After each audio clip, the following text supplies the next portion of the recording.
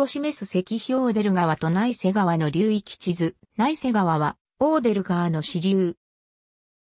チェコ北部に源流を発し、第二次世界大戦後に設定されたドイツとポーランドの国境であるオーデル内瀬線の一部をなす。全長 252km。ドイツ語では、正式には、ラウジッツァーナイセと言い、ポーランド語では、ニサウジツカ、チェコ語では、ルジツカーニサと呼ばれる。これらはいずれも、ラウジッツ地方の内瀬川を意味する。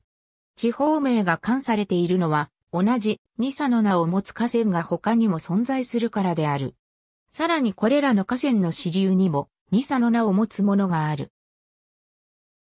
しかしラウジッツの内瀬川が、同名の河川の中で最も長く、国境の川としても有名であることから、単に内瀬川といえば通常これを指す。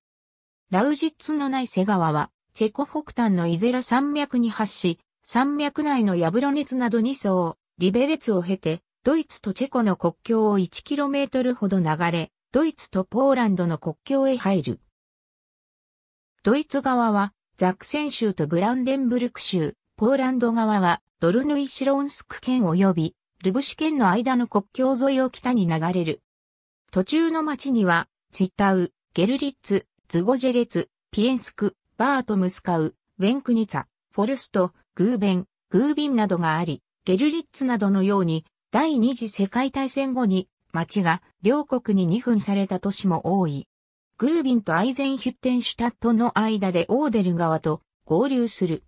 全長 252km のうち 54km はチェコ領内、198km はドイツポーランド国境を流れる。ありがとうございます。